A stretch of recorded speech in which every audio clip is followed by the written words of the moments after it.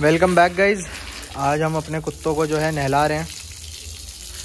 सबसे पहले ये देखें शेडो को हम सबसे पहले मतलब गीला कर रहे हैं, उसके बाद शैम्पू वगैरह लगाएँगे। अभी मतलब जिससे एक बार जो भी सारी धूल मट्टी है वो बह जाए। शेडो और हमें एक चीज़ का हमेशा ध्यान रखना होता है, इसमें प्रिकॉशन जो होते हैं, कि कान के ऊपर पानी कभी ना जाए। और हमेशा कोशिश करें कि दिन में नहलाएँ, क्योंकि दिन में नहलाने से ये होता है कुत्ता सूख भी जाता है आराम से। और अगर आप नहलाते टाइम कोई ज़ख़म है बॉडी के ऊपर या कुछ है तो वो आराम से दिख जाता है। रात में नहलाना प्रेफरेबल नहीं है। हमेशा और स, कान को बचा के डालें पानी हमेशा। सबसे पहले मैं दो मिनट इसको ये करके ना छोड़ दूँगा जिससे ये सूख जाए। हल्का सा जो भी गंदगी है वो सारी बह जाए। तो सिर्फ़ इसको रगड़ो ज़रा। हाँ और क्या मुँह से रगड़ोगे बेटा? दोनों हाथों से सही से। सही से बैठ जाओ, कपड़े नहाना तो दोनों को ही अब इसके बाद। तुम भी नहाओगे, हम भी नहाएँगे। रगड़ो आराम से। अच्छे से, जैसे बर्तन धुलते हैं। हैं? क्या कर रहे हो? खुजाओ जैसे खुजाते हैं अच्छे से। पूरे में। जो सेम चीज़ हमने शेडो के साथ करी है, वही अब हम नैन्सी के साथ भी कर रहे हैं। हम फीबी को नहीं नहलाएँगे ज़रा अभी क्योंकि फीबी की जो है तबीयत अभी थोड़ी सही नहीं है। उसके चोट लगी हुई है और स्टिचेज आए हुए हैं, आपने देखा ही है। तो पहले हम नैन्सी को अच्छे से गीला कर देंगे।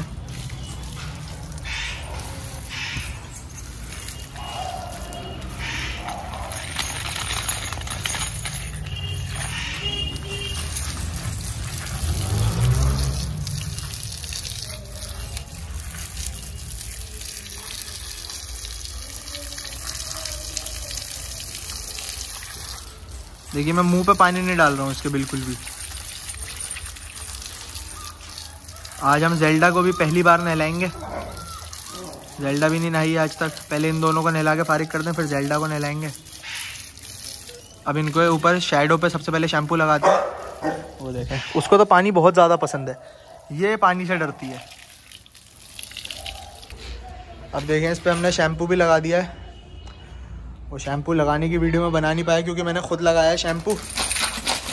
और अब इसके ऊपर देखें। हमने सबसे पहले इसको पहले गीला करना है, उसके बाद इसे आप पे शैम्पू लगाना है। और अब मैं इसको अच्छे से रगड़ना है पेट के ऊपर और सब जगह। अब पहले मैं एक बार शैम्पू को खाली पानी से बहाऊँगा।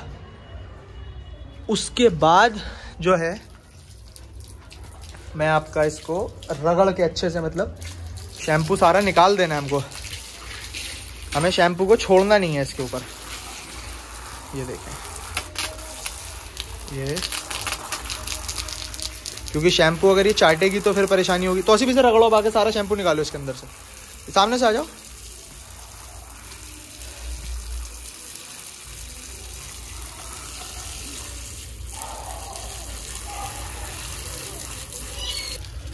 ये देखें, सारा इसका जो इतना शैम्पू है, इसको हमें कई कई बार निकालना पड़ता है। इससे ज़रा सा भी इसकी बॉडी पे ना रह जाए। पेट रगड़ो, पेट, अभी बहुत शैम्पू है इसके अंदर। मैं ऊपर पानी डाल रहा हूँ, तुम पेट रगड़ो, पेट कहाँ होता है? नीचे। नीचे नीचे नीचे हाँ शाबाश।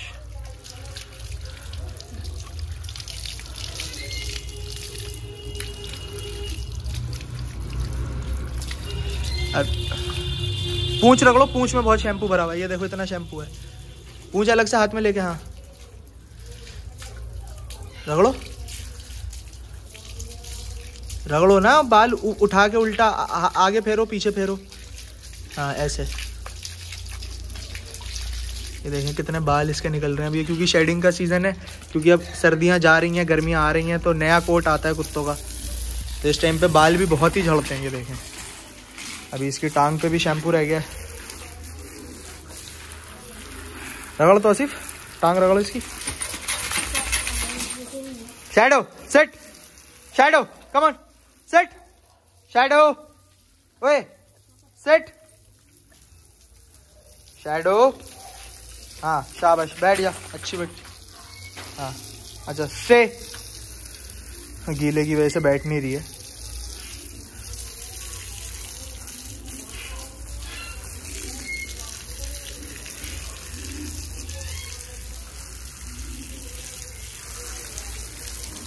ए पेट पे लो तो सिर्फ़ तुम बाकी तो सब निकल गया। पेट पेट, नीचे। आगे का सीना देखें इसका।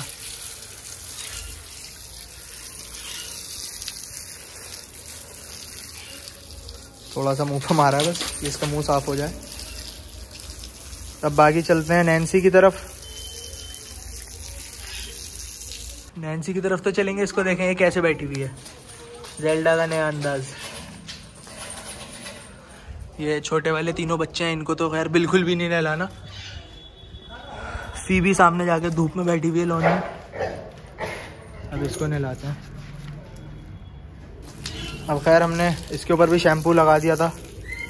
ये ज़रा क्योंकि थोड़ी फेमिलियर नहीं है मेरे अलावा और ऐसे किसी से। तो मैंने ही लगाया, अब वो निकल गया इसका भी काफ़ी हद तक शैम्पू। ये देखें।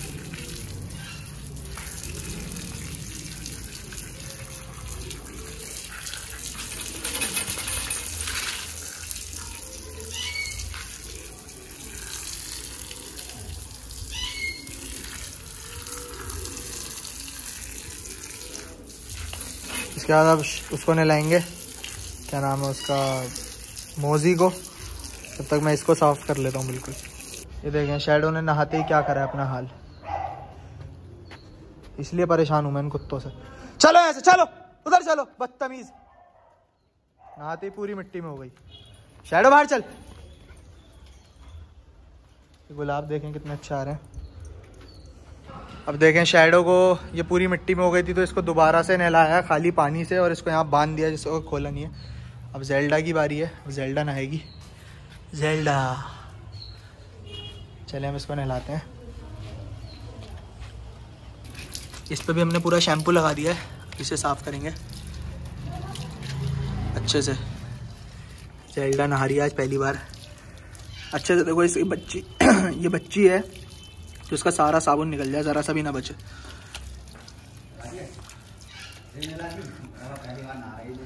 हाँ तो सिर्फ़ कान पकड़ो इसका एक। कान पकड़ो आराम से लो पूरा कान। अंदर ना जाए पानी बस ऊपर। हाँ। दूसरा वाला कान भी मैंने ऊपर शैम्पू लगाया था।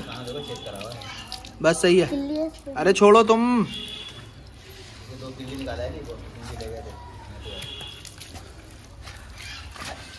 बैठ जाना तू भी नीचे भाई। पट्टा पकड़ दे गर्दन पट्टा से तो हाथ पैरों कहीं नहीं जाएगी तो रुकी रहेगी। इसका पैर उठा के रगड़ना हाथ में। हाँ। नहीं नहीं मैंने हल्का कर रखा वरना निकल जाता है ये।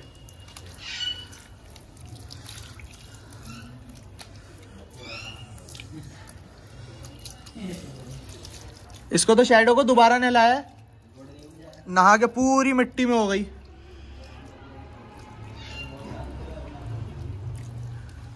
अरे सुखा के घुमा के फिर आगे लाया, फिर जाके मिट्टी में लेट गई खाली सारा निकाल दो, इसका पेट पे हाथ पे पेट पे नीचे।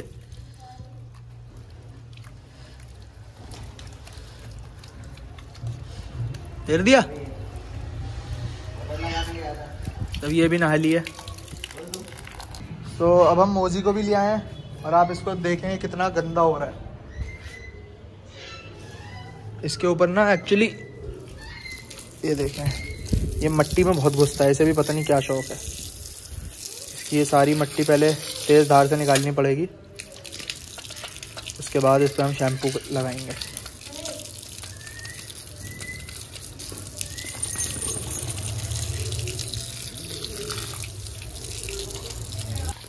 तो मोजी पे भी शैम्पू लगा दिया हमने और ऑलमोस्ट निकल भी गया है।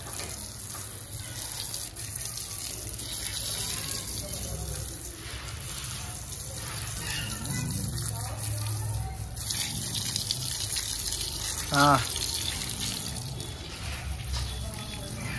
ये देखें। मोजी भी अराउंड अब आठ साल या सात साल के करीब हो गया है अब। हाँ सात साल का हो गया ये। उसे नीचे उतारो, बच्चा कहाँ से निकल गया है, देखो।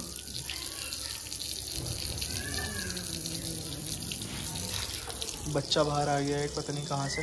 देखना कहाँ से निकला पहले देखो। अच्छा डाल दो, अंदर डाल दो।